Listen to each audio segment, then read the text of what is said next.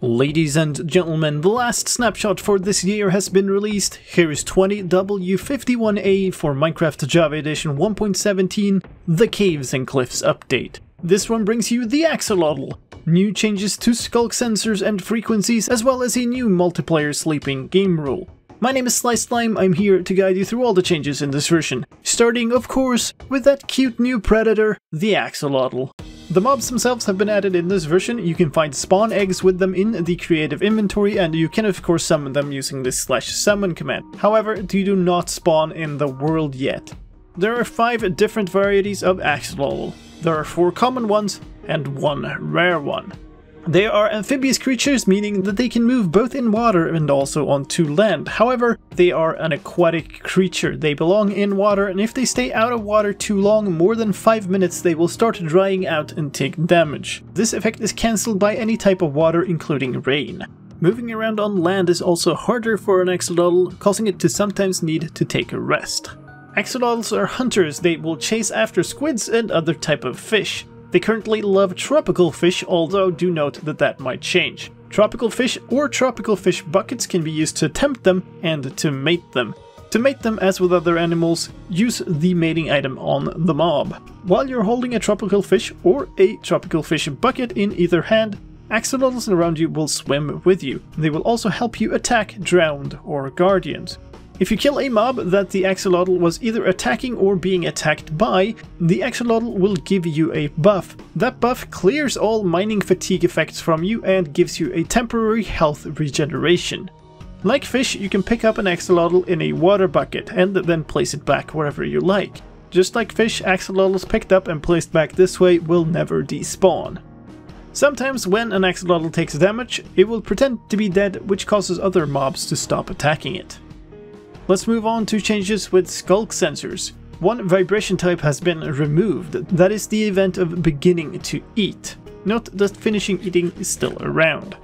Some events have changed frequencies as well, you can see all the new frequencies on the screen.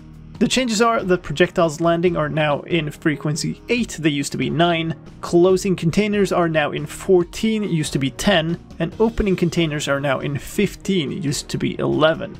Sculk sensors now also become silent when waterlogged.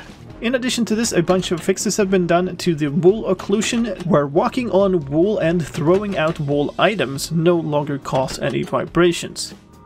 Some changes to gameplay. Bundles and shulker boxes in item form will now drop their contained items when they are destroyed. That means, for instance, that throwing a bundle or a shulker box with netherite items inside into lava will cause the netherite items to pop out and survive. And a number of desync fixes have been done to candles and cakes, including a problem where putting candles on cakes would duplicate the item. A visual change in this version when a crossbow is loaded and in the offhand, you can now properly see it even when holding an item in your main hand. And user interface fixes. The bundle fullness is now displayed as just the item count without the fullness text, and the bundle inventory preview is no longer off-center inside of the tooltip box. Let's move on to sounds, and of course, sounds for axolotls. They have two types of chirping, for idling in water